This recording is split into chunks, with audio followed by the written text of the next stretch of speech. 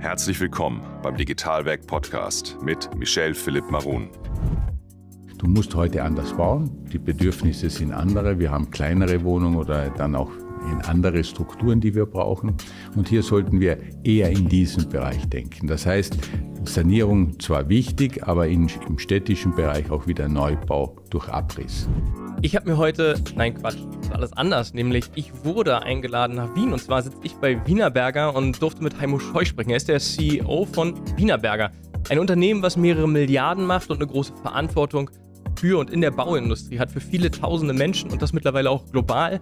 Wir haben wirklich querbeet einmal geschossen. Wir sind durch Wienerberger durch, was es macht, wie man zum Systemhersteller wird, warum man das eigentlich tut, gibt es Gründe der Daseinsberechtigung, aber auch wie viel Verantwortung im Nachhaltigkeitsbereich. Also ESG war natürlich ein Thema und bis hin zum politischen Kontext auf dem Dachmarkt, deutschen Markt sind wir eingegangen. Also wer ein richtig geiles Update haben will, der sollte jetzt dranbleiben. Also let's go.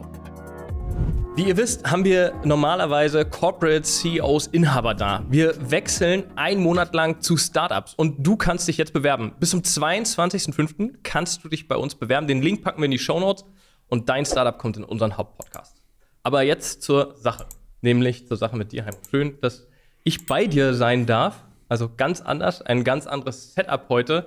Nämlich ich bin in Wien bei Wienerberger. Schön, dass ich deiner Einladung folgen durfte. Michel, herzlich willkommen im wunderschönen Wien. Und mich freut, ich bin ja fast auch ein Startup mit Wienerberger. ein paar Nullen am Umsatz mehr habe ich gelesen, ja. aber ansonsten modern. Ich glaube, ihr entwickelt euch.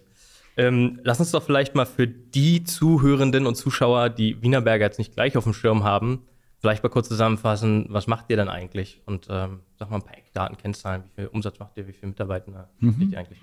Mittlerweile sind wir mehr, mehr oder weniger wieder 22.000 Mitarbeiterinnen und Mitarbeiter. Sehr stark in Europa und in Nordamerika mit kurzen Ablegern, noch einen kleinen Ablegern in Indien und in der Türkei, also außerhalb der Europäischen mhm. Union. Mhm. Und äh, sind tätig, wenn du das Tätigkeitsfeld so betrachtest, Bauzulieferindustrie, also Baustoffe, für die Errichtung von Häusern. Das sind vor allem Ziegel. Das klingt jetzt alles sehr altmodisch, nicht so cool, nicht so lässig, wie man es heute so gerne hat. Aber, und das ist vielleicht einmal ganz interessant für Leute, die jetzt zuhören, wir errichten moderne Häuser, vor allem energetisch effiziente Häuser, das heißt Nullenergiehäuser. Wir tragen sehr viel zur Renovierung bei, im Sinne von energetisch effizienter Renovierung und zur Infrastruktur. Wassermanagement, also Trinkwasser und Abwasser durch unsere Rohre. Nur damit man einen kleinen, äh, eine kleine Idee bekommt, wir errichten grundsätzlich eine eine, also eine mittlere Stadt im deutschsprachigen Raum, so wie Graz in Österreich, das mhm. kennt man ja. Mhm. Äh, so eine Stadt errichten wir jedes Jahr neu mit unseren Produkten. Das heißt, das ist der industrielle Output. Jetzt hast du ja gerade gesagt, Steine und du bist jetzt gerade schon zu Rohren und Stadt. Mhm. Also das ist ja gar nicht mehr Wienerberger, weil der, der Wienerberger kennt, derjenige, der mhm. verbindet es doch mit einem klassischen Stein, mit einem Ziegelstein der, der natürlich jetzt uns vor 40, 50 Jahren kennengelernt hat und dann die Entwicklung gesehen hat, sind wir ein klassisches Ziegelunternehmen gewesen, ja. Warum denn jetzt so weit gefächert? Also warum geht es dann jetzt äh, weiter in die anderen Thematiken rein? Rohrleitungen und äh, das ist ja schon fast so Infrastrukturthemen, die da mit beiklingen. Na, wir haben klar, äh, Michel, unsere Gedanken gemacht, wo soll die Reise hingehen? Wo geht die Reise überhaupt hin? In Europa und in Nordamerika. Und hier waren wir natürlich sehr, sehr spezifisch im Neubau alleine tätig. Ja, das Errichten von Ein- und Zweifamilienhäusern. Wir haben sehr früh den Trend hin zur Renovierung gesehen. Damit haben wir auch dieses Segment sehr stark verstärkt. Und vor sechs Jahren haben wir die Möglichkeit bekommen, uns sehr stark im Bereich Infrastruktur zu engagieren durch die Übernahme eines Unternehmens in der Rohrbranche Pipelife. Und mittlerweile haben wir das zum zweitgrößten Produzenten äh, für Rohre in Europa gemacht. Macht man das, weil dir nichts mehr einfällt im Sinne von, was kann ich mit Stein machen? Braucht es das? Oder ist das eine, vielleicht auch später noch eine Daseinsberechtigung, weil Steine irgendwann nicht mehr existieren werden? Was, was, ist, was steckt dahinter? Weder noch, wenn ich das so sagen darf, ganz im Gegenteil, weil wir nämlich äh, das gesamte Haus als unser Markt sehen, also das heißt das Gebäude und nicht nur einen Teil. Wir wollen nicht ein Zulieferant von einem Produkt sein, sondern wir wollen ein System- und Lösungslieferant sein. Das heißt, wenn du heute natürlich das ganze Thema Errichtung eines Hauses nimmst, denkst du ja nicht nur über die Wand nach, sondern das ganze Thema Energieversorgung und Wasserversorgung. Deshalb spielt das Rohr mit dem Stein eine gewaltige Rolle. Wie heize ich, wie kühle ich? Das heißt, das Ganze als Produkt zu verstehen. Nicht nur, ich gehe schon einen Schritt weiter als System zu verstehen. Ist die ganze Branche nicht gerade noch auf dem Trichter, ich muss erstmal lernen, ein Gebäude als Produkt zu verstehen und nicht mehr als Projekt. Jetzt kommst du und sagst du, ich bin schon Gedanken weiter. Also hängen wir da vielleicht nicht schon wieder auch jemanden dann ab, wenn das stimmt, was Naja, natürlich hängen wir viele ab, weil natürlich in dem Sinne noch viele in der Vergangenheit äh, verharren. Aber mhm. nimm mal eine andere Branche. Du hast äh, mir persönlich erzählt, du warst gerade jetzt in Stuttgart, also mhm. Automobil. Ja. Die haben ja auch eine gewaltige Entwicklung durchgemacht. Das heißt, die denken nicht mehr nur im Auto alleine, sondern in der im, in der Infrastruktur, in der Mobilität etc. Das heißt, auch hier gibt es Entwicklungen. Und wenn du in einer Industrie tätig bist, musst du visionär auch sein. Deshalb auch für mich, spaßhalber, sind wir ein großes Startup, weil wir uns immer wieder neu erfinden müssen. Das ist das, das was dich auch interessiert, ähm, an dem Unternehmen Wienerberger, diese Flexibilität zu haben und das weiterzuentwickeln. Also dazu braucht es ja nicht nur ein starkes Team, also mhm. tausende Menschen, die irgendwie dahinter stehen und sagen, komm, wir setzen das auch um, wenn du mhm. und vielleicht noch Kollegen, Kollegen das äh, als Idee haben, sondern brauchst ja auch ein bisschen Kapital dazu. Um da brauchst Sachen du natürlich Kapital, hast du den Finanzmarkt natürlich, den musst du ja auch betreuen. Das ist ein ganz ein separates Thema. Aber was du ansprichst, was mich persönlich so fasziniert, ist diese Kraft in einem Unternehmen, wenn man jetzt 22.000 Kolleginnen hat und Kollegen weltweit, die haben ja viele Ideen. Die haben ja enormes, äh, eine enorme Kraft, etwas Neues zu gestalten. Und das macht es ja spannend. Wir produzieren ja, wir haben ja 240 Standorte und da wird ja viel hergestellt, da kann man ja viel gestalten. Aber grundsätzlich dann natürlich durch unsere Möglichkeit mit vielen Kunden, mit vielen äh, Entscheidern zusammenzuarbeiten, gibt es hier viel Potenzial für Innovation und das macht es ja spannend. Wie machst du die denn hörbar, die Stimmen aus der Organisation, dass du sagst, nicht nur du hast ja tolle Ideen und stehst morgen auf und sagst, toll, der Kaffee hat gut geschmeckt und morgen früh kaufen wir die nächste Firma, sondern das ist ja irgendwo auch Leute, die irgendwie aus der Organisation im Operativen viel dichter dran sind, werden ja zündende Ideen mitbringen. Wie, wie kommen die zu dir? Schau, das ist relativ einfach. Du hast heute viele äh, intelligente Menschen, die darüber sprechen und Bücher schreiben, wie man das machen soll. Im, Im Einzelfall ist es so, dass du auf Menschen zugehen musst. Das ist eine Wertesache entweder hast du Werte im Unternehmen oder hast du sie nicht. Das sind wir jetzt im, auch in der Gesellschaft. Du respektierst andere, du vertraust anderen, du hast das Thema Kreativität und lebst das auch und du hast die Leidenschaft im Unternehmen. Und das gilt es eben immer wieder vorzuleben. Das ist die Führungsmannschaft muss das tun, ich muss das tun, du musst die Leute ernst nehmen. Mhm. Da kann ein kleiner Vorschlag auch ein ganz äh, wichtiger werden, was zu verändern. Und Menschen, ich kann mich zum Beispiel erinnern, wir haben dieses Vorschlagswesen auch aufgebaut. Mhm. Ne? Vorschlagswesen nennt ihr das? Ja, auch. Ja. ja man, Ideenbox oder irgendwie sowas? Also jeder kann dazu sagen, wie er meint. Aber du musst dir vorstellen, wenn du, äh, gehen wir mal jetzt in ein Land, damit wir jetzt nicht in Europa bleiben, sondern in Amerika. Da haben wir das auch gemacht, mit einer Box zum Beispiel, mhm. kann jeder reinschreiben. Mhm. Da hast du natürlich, du musst du diese Hemmschwelle nehmen. Stell, du machst dir keine Gedanken darüber, wie wenige Leute auch schreiben können und richtig schreiben können. Das ist heute eine Hemmschwelle. Ja, du kannst dich ausdrücken, aber du, schreiben ist schon schwierig. Mhm. Das heißt, du musst den Menschen diese Möglichkeit geben, auch wenn er schlecht schreibt, das ernst zu nehmen und das aufzugreifen. Und weißt du, was die cool gefunden haben? Dass ich das lese und mit ihnen spreche. Das haben sie, Entschuldigung, wenn ich das im modernen Deutsch sage, scheiß cool gefunden. Ja, und da ein Feedback zu kommen. Und da der, dem reingeschrieben zum Beispiel, dass er seinen Arbeitsprozess eigentlich ein bisschen anders gestalten könnte, wäre er viel effizienter. Mhm. Ja, mhm. und das sind Themen, mit denen man arbeiten muss. Siehst du da Unterschiede zwischen den Ländern? Also jetzt seid ihr ein global tätiges Unternehmen. Ähm, siehst du da Unterschiede? Dass die Innovationskraft ja. in anderen, anderen Ländern oder in Europa in einzelnen Ländern vielleicht sogar Unterschiede? Du hast kulturelle Unterschiede. Ja, du hast die, die sind einfach begründet aus der gesellschaftlichen Struktur nach wie vor. Das heißt jetzt nicht unbedingt, dass die Anglosachsen hier besser sind oder lässiger miteinander umgehen. Das stimmt oft gar nicht. Die sind mhm. sehr hierarchisch. Aber da hast du natürlich auch Länder, auch in Europa, die aufgrund der Historie heraus noch ein bisschen Hemmschwellen haben, mit dem Vorgesetzten hier zu sprechen. Was du durchbrechen musst, ist oft das Mittelmanagement. Da mhm. sind oft Leute dabei, die ich sage mal, Beharrer sind ganz gerne, weil sie in ihrer Komfortzone bleiben wollen und sagen, das managen wir doch gut, lass uns das nicht verändern. Mhm. Und hier muss man eben viel arbeiten, die Leute überzeugen.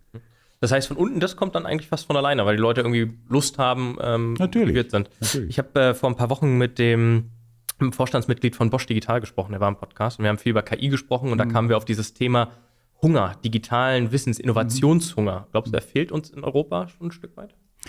Ich glaube, ich gehe ein Stück weiter, vielleicht doch ein bisschen philosophischer. Es fehlt uns die, der Wille zu Neuem. Mhm. Also wir Europäer sind sehr, sehr ähm, gesettelt, wir leben gerne und das ist diese Work-Life-Balance, die eine große Rolle spielt. Das ist auch ein bisschen ein kleiner Vorwurf, den ich mache an die junge Generation, dass man sagt, hey, alles easy, alles cool.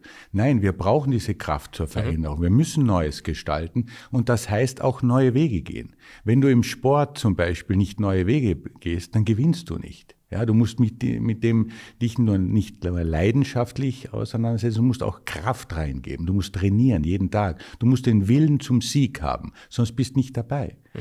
Nur dabei zu sein, um Spaß zu haben, ist zu wenig. Und das ist jetzt, äh, das ist nicht abhängig nur von, äh, also von Artificial Intelligence oder von anderen Sachen. Nein, das ist eine Mentalitätssache. Und die muss man wieder lernen. Diese Kraft, um Neues zu gestalten. Hat die junge Generation die denn überhaupt schon mal gelernt ähm, oder ist es ähm, ein Wiederlernen?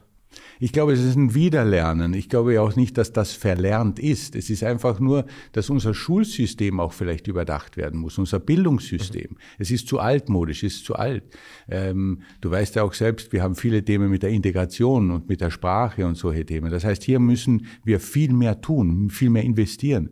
Wenn heute über Fachkräftemangel gesprochen wird oder über mangelnde Innovation, wo liegt das Thema? In der Ausbildung. Mhm. Ja? Und da müssen wir ansetzen. Das müssen wir bei den Jungen ansetzen und jetzt nicht darüber reden, was wir alles in der Gesellschaft tun sollten. Haben wir ja darüber gesprochen, was man alles tun könnte. Was mhm. hast du denn getan? Oder ihr als Wienerberger nachher, du alleine hast das ja nicht alleine umsetzen können. Ähm, ihr habt das in Säulen, äh, glaube ich, auch aufgeteilt mhm. ähm, für Wienerberger. Aber erzähl mal selbst, was dahinter steckt. Wirklich. Na, ich glaube zunächst mal, wenn ich dir sagen darf, als ich da persönlich vielleicht einen Rückblick, als ja. ich da übernommen habe, waren wir in einer sehr schwierigen Situation. Sag das, vielleicht noch ganz kurz, wie lange genau. machst du schon Wienerberger? Ja, das kann, ist schon so lange, dass ich mich gar nicht erinnern kann. Warte, wir rechnen zusammen zurück. ja, weit über 25 Jahre bin okay. ich schon dabei. Okay. Also sehr lange. Und Vorstandsvorsitzender bin ich jetzt auch schon im 15. Jahr. Das heißt, das ist schon relativ lange für einen im deutschsprachigen Raum. Wir haben fast die genaue Zahl ausgerechnet. Ja, das 15 Ja, genau.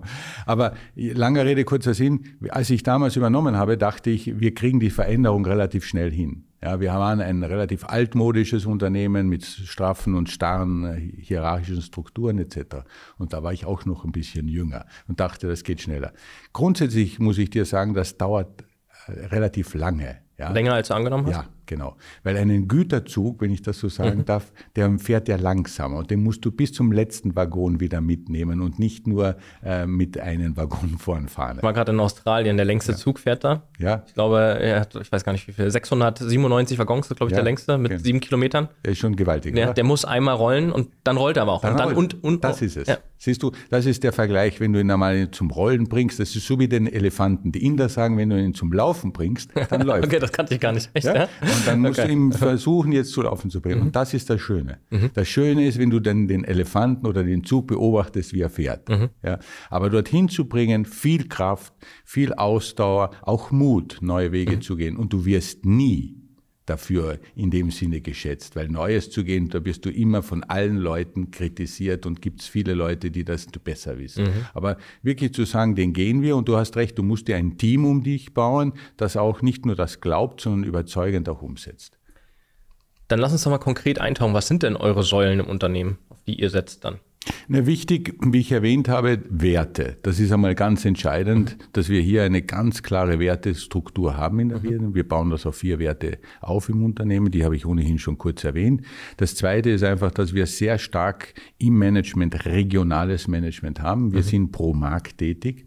Ein Markt in Litauen ist ganz anders als der in Rumänien mhm. und der in Rumänien wieder anders als in Irland. Starkes lokales Management.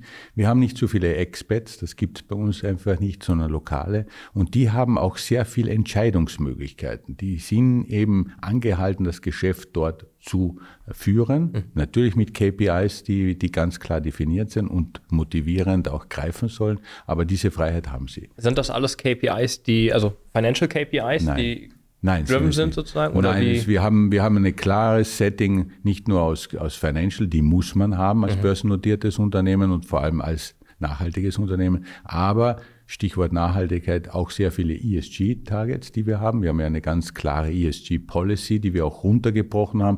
Wir sind nicht ein Unternehmen, das sagt, 2030 oder 2040 sind wir carbon-free. Sondern 2041. Das ist, würde ich sagen, weißt du was, das sind alles so Ansagen, die will ich nicht. Mhm. Ich will ganz klare Ziele haben, wie viel haben wir jetzt in 2023 erreicht, wie viel erreichen wir im nächsten Programm 2026 und das muss hingebracht werden. Mhm. Dass wir das Langzeitziel haben, ist ganz klar. Aber du musst eben Menschen so führen, dass sie auch begreifen, dass ihre Tätigkeit ein Resultat liefert. Und das ist wichtig. Wie viel Digitalisierung hilft denn dabei, um nachher in 20, wann auch immer, mhm. lassen wir mal die Zahl kurz äh, außen vor, ähm, um die Ziele zu erreichen? Also vielleicht auch nochmal vergleichen, Innovation, Innovationskraft, Digitalisierung versus Mensch. Mhm.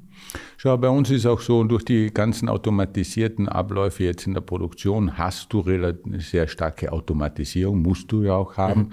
Mhm. Geht ja Schritt in Schritt heute mit Digitalisierung, weil die Datenerfassung und die Datenbearbeitung hier sehr stark läuft. Ich meine, wenn man heute sagt, ein relativ unter Anführungszeichen von vielen wahrgenommen als traditionelles Unternehmen Wienerberger Baustoffbranche, aber nur eine Zahl hier, 90 Prozent unseres Geschäftsvolumens läuft digital ab mit unseren Kunden. Das heißt, da gibt's nichts mehr alte Rechnungen und so, das läuft alles digital.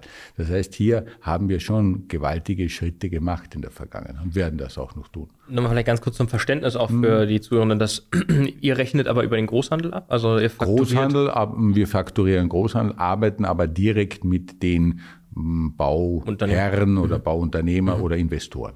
Ja. Wie wichtig sind die denn? Vielleicht mal so ein bisschen Exkurs in die Richtung. Ähm, wie wichtig ist denn ein Projektsteuerer, Entwickler, Investor vielleicht sogar auch in der heutigen Wertschöpfungskette? Ja, der ist schon sehr wichtig, weil er heute natürlich nachdenkt. Reden wir mal über zum Beispiel jetzt über deine Heimatstadt Berlin, wenn es da geht um ein nachhaltiges Wohnprojekt. Ja, welches Wohnprojekt will er denn bauen? Will er nur auf Kosten schauen oder schaut er auf äh, auf in dem Sinne Langfristigkeit, weniger Haltungskosten, wenig Betriebskosten mhm. und ein günstiges, leistbares Bauen. Und da, da spielt natürlich dieser Dialog mit uns eine große Rolle, weil wenn du schon am Anfang richtig planst, ersparst du dir viele Kosten, nicht nur in der Errichtung, sondern auch im Betrieb. Siehst du dann auch, dass der eben der zum Entscheider immer mehr wird? Also 10, ja. 20 Jahre zurück hat der, der klassisch der Bauunternehmer, egal welche Größe, gesagt, den Stein nehmen wir oder eben nicht.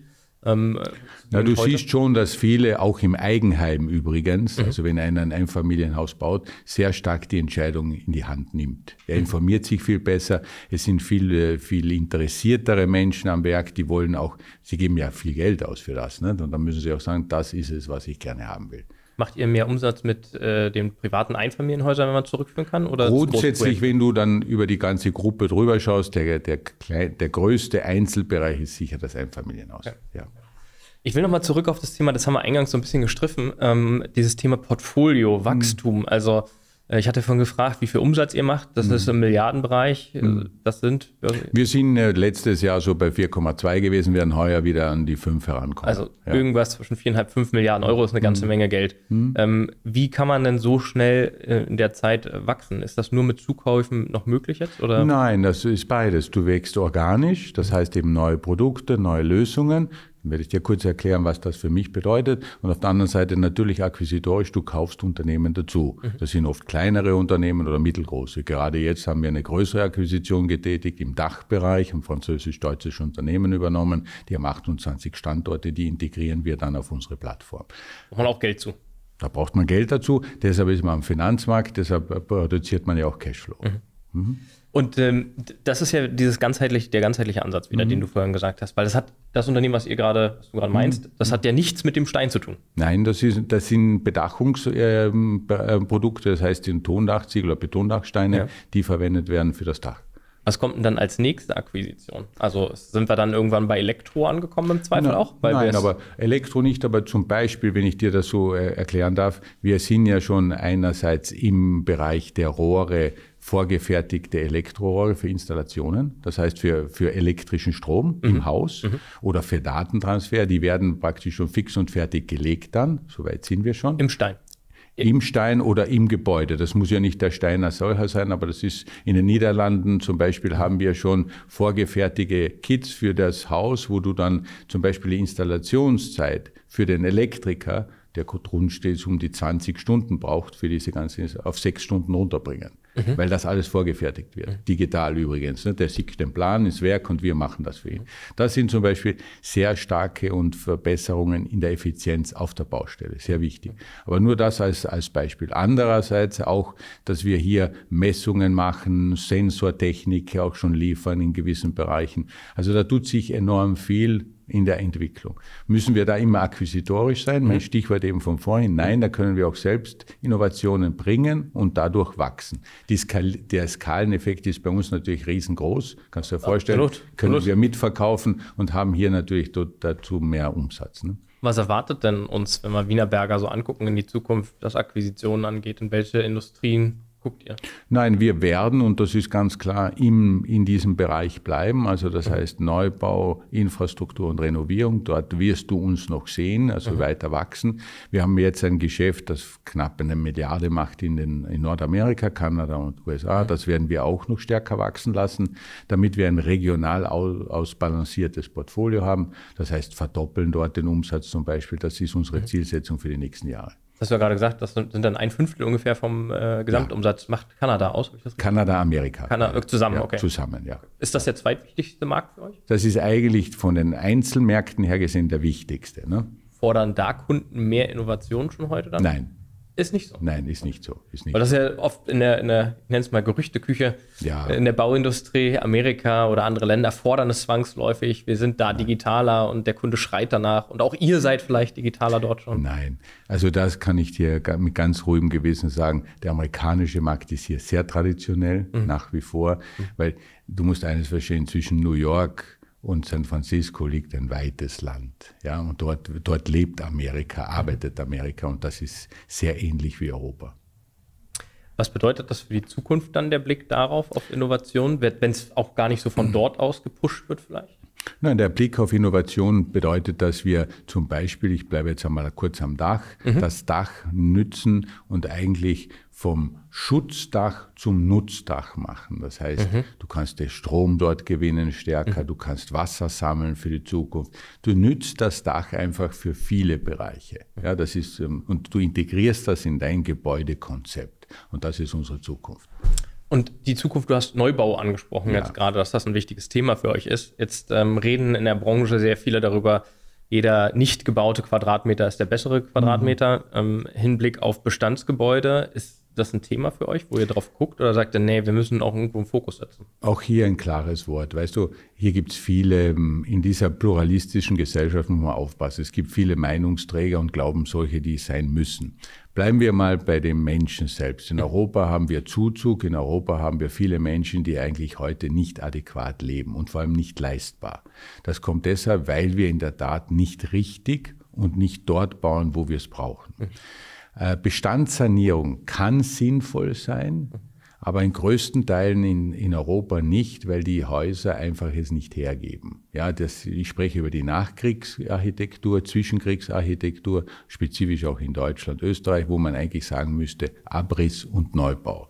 Weil du musst heute anders bauen, die Bedürfnisse sind andere, wir haben kleinere Wohnungen oder dann auch in andere Strukturen, die wir brauchen. Und hier sollten wir eher in diesem Bereich denken. Das heißt, Sanierung zwar wichtig, aber in, im städtischen Bereich auch wieder Neubau durch Abriss. Ja? Und das mhm. Zweite ist, ähm, von dem Sinne, was wir nicht verbauen sollten, Quadratmeter, auch da bitte ein vorsichtiges Wort, wenn man so schaut, was an Infrastruktur verbaut wurde in den letzten Jahren, noch wird. Wollte ich gerade sagen, das geht noch ein paar Tage. Wird noch gehen. Das wird noch, geht extrem viel und viel zu viel meines Erachtens. Mhm. Ähm, und das Zweite ist das Thema, dass wir hier natürlich auch durch diese ganze Thematik Konsum eigentlich überdenken sollten, ob es diese Einkaufszentren geben sollte. Weil du musst denken, was gibt es denn eigentlich ineffizienteres als solches? Weil das wird ja nicht bewohnt, das wird ja nur benutzt an gewissen Tagen der Woche, mhm. übrigens auch. An zentralen dann, Punkten? Und dann steht das mhm. leer, das ganze Ding. Mhm. Ja, und hast enorm viel äh, Platz verbraucht. Jetzt sind wir ja schon bei dem Thema Nachhaltigkeit mitten, mhm. mittendrin. Was, mhm. was bedeutet das denn? Du hast vorhin so ein bisschen gestriffen, mhm. ESG ist schon ein Thema. Ich glaube, wer mhm. heute das noch nicht auf dem Schirm hat, der wird sich dann umgucken, ob Strafzahlungen oder was auch immer kommen. Ähm, Was, was bedeutet das für dich? Ich glaube, ich, be, ich sehe das ähm, insofern als, als ganz entspannt, weil wir Nachhaltigkeit immer gelebt haben in dem Unternehmen. Du musst denken, das hat ja über 200 Jahre Bestand und wenn ein Unternehmen so alt ist, dann denkt es ja auch nachhaltig, sonst würde es ja nicht bestehen. Auf der finanziellen Perspektive. Und da find, nicht nur, auch der industriellen. Das heißt, hier ist wirklich äh, verantwortungsvoll mit den Ressourcen, mit den Menschen, mit, den, äh, mit dem ganzen Investitionsthema umzugehen. Ja, und Ressourcen für uns sind Materialien, Rohmaterialien, das kann der Lehm sein, das kann aber auch Plastikgranulat sein, wenn man über Kunststoffrohre spricht. Das heißt, verantwortungsvoll umgehen. Es ist an und für sich, und das ist auch wichtig für die junge Generation, Industrie ist nicht schlecht. Aber das ist ja das Image. Das ist aber leider das, falsch. Ja, aber da, ja. Beton, ne? also ich ja. habe mit Max Bögel äh, gestern in Stuttgart gesprochen, ja. und die haben auch gesagt, das Thema ist, du kannst dafür als Hersteller gar nichts, du änderst, du machst als machst jetzt mittlerweile Werbung dafür, hm. Carbon Neutral Beton, aber du musst das ja unglaublich schwerfällig rüberbringen, dass das auch die Wahrheit ist. Ja, das müssen wir, also die Wahrheit. Ich glaube, das ist natürlich, du kämpfst mit deiner Vergangenheit, mhm. wo viel gelogen und betrogen wurde. Sagen wir das sehr deutlich. Das bin ich auch äh, absolut einverstanden, dass das ein Thema ist, das wir alle aufarbeiten müssen. Auf der einen Seite. Auf der anderen Seite würde ich nur sagen, industrielles Tun ist mhm. nichts Schlechtes. Wertschöpfung, Wohlstand kommt ja von dem. Wo soll es denn sonst herkommen? Absolut. Ja? Ich, ich, sehe das als große Aufgabe der jungen Generation, also die noch nach mir äh, ja. kommt, denen das beizubringen, dass mhm. Industrie nicht schlecht ist und der Wohlstand ja auch von irgendwo kommt, wir halt langfristig umdenken müssen. Ja, das ist einfach so. Und Wertschöpfung, das heißt, wenn du aus etwas was produzierst und äh, mehr Wert dem Ganzen gibst und dann mhm. weiterverwendest, geht es ja um eigentlich um folgende Punkte. Das erste ist, wie viel Energie und wie viel Rohstoffe setzt du für diesen Prozess ein? Ja, das ist ein wesentlicher. Und da muss man sagen, gibt es nachhaltige Materialien, gibt es nachhaltige Energie etc. Das sind ein, einfache Themen, die sind gar nicht zu kompliziert. Mhm, nee. So. Und am zweiten ist, wie lange hält dein Produkt? So, deine Großmutter, die du sicherlich äh, auch gut gekannt hast, hoffe ich für dich, die haben noch ihre Socken gestopft. Ja, absolut. Die haben Wahrscheinlich das bis heute machst du das. Ja, aber heute schmeißt du das weg, das Zeug. Ja. Und das ist eben so ein, ein kleines, lustiges Beispiel, dass wir eigentlich nachhaltiger denken lernen wieder müssen. Ja, und nicht im kurzfristigen Konsum hängen bleiben. Mein, meine kritische Anmerkung der jungen Generation ist, ich verstehe eure Anliegen, aber öffnet euch auch dem Diskurs. Mhm. Ja, und schaut auch einmal selbst nach, wie ihr konsumiert und was ihr konsumiert. Ja, und das ist meines Erachtens sehr wichtig, dass wir gemeinschaftlich diesen neuen Weg gehen. Und letzter Punkt, wie recycelst du? Ja, wir waren natürlich, ich kann mich an meine Jugend erinnern, das, das Scheiße, weg mit dem ganzen Kram. Ja, aber Recycling war nie ein Thema. Heute denkst du drüber nach. Und je länger ein Produkt hält und Bestand hat, und aktiv da mitgestaltet. Und zum Beispiel bei Baumaterialien ist das wahnsinnig wichtig, wenn der über 100 Jahre hält und wieder umbauen kannst und neu ähm, verwenden kannst, dann hast du wirklich eine sehr positive Bilanz. Ihr habt euch doch bestimmt mit dem Thema auch schon beschäftigt. Wie ist das, wenn ich den Stein äh, verliese oder äh, wieder zurückkaufe, je nachdem, was für ein Modell? Wie, wie, geht ihr damit um mit dem Thema? Ist das heute überhaupt ein Thema? Nein, ist kein Thema, weil natürlich die Immobilie an sich ein gewaltiger Wert, mhm. der den darstellt. Wenn du hier anfängst, auch so Modelle wie Autos mal zu machen, ich lease, es gehört gar nicht mehr mir. Ich, diese Tendenz finde ich interessant. Mhm. Muss man aber auch aufpassen, dass das nicht wieder so eine Stufe ist, mir ist das alles egal, weil ich bin eh kein Eigentümer von dem Ganzen. Ja, mhm. ja die gehört das nur das Grundstück. Im so ist es, ja. Mhm. ja. Mhm. Und das vielleicht auch gar nicht mehr dann. Irgendwann. Die Autohersteller tun sich aber auch schwer, zu sagen, ich schalte jetzt für 19 Euro im Monat mein Navi frei oder meine Sitzheizung. Genau. Ähm, was schalten wir dann bei Steinen frei? Die Dämmung da drin? Ihr macht ja auch Dämmung, ne? Dämmung, wir können, schalten wir frei, oder? Ja, wir können die Energieeffizienz freischalten, wenn wir das so wollen. Ne? Ja. Mit Blick auf die äh, äh, Bauindustrie und die, die Zukunft vielleicht auch der Bauindustrie. Mhm. Ähm, sehr, sehr vielfältige Gäste, die ich im Podcast habe, aus mhm. äh, der gesamten Wertschöpfungskette entlang. Und ich würde sagen, ich habe keine rote Linie erkennen können in den letzten zwölf Monaten. Mhm. Von Dramatologie über Krise, über positive Ausblicke. Mhm. Ähm, den letzten Österreicher, den ich bei mir hatte, war mhm. Karl-Heinz äh, mhm. Strauß. Und ähm, der war sehr positiv gestimmt dem mhm. Ganzen über. Wie, wie guckst du drauf? Auf die Entwicklung? Ja. Ähm, schau, ich, ich gucke, wenn ihr das so sagst auf Deutsch, ähm, einerseits kritisch, und auf der anderen Seite pragmatisch positiv. Und ich erkläre das auch. Kritisch deshalb, weil wir, und ich spreche jetzt nur über Europa, und da spreche ich nur über die Europäische Union, mhm. da gehört Deutschland als führendes Land dazu mhm. und trägt eine große Verantwortung. Wir müssen lernen, in diese Bereiche Infrastruktur, in dem Wohnbau vor allem und natürlich auch in die Sanierung nachhaltiger zu investieren. Ja? Und ich erkläre mich auch dazu. Ein Infrastrukturkonzept kann nur europäisch sein. Mhm, ja.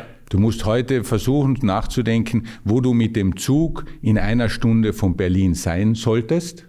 Das ist wichtig. Das ist ein gesamteuropäisches Projekt. Das ist für die Zukunft Europas extrem wichtig. Mhm. Ja. Und da muss meines Erachtens viel nachhaltiger investiert werden. Anderes Thema, das Thema Energieversorgung. Du musst deine ganzen Produktionen an Strom, weil Strom ist eigentlich die Elektrifizierung, ist die Zukunft Europas, musst du schauen, wo du ihn hinbringst. Und schnell und effizient und kostengünstig.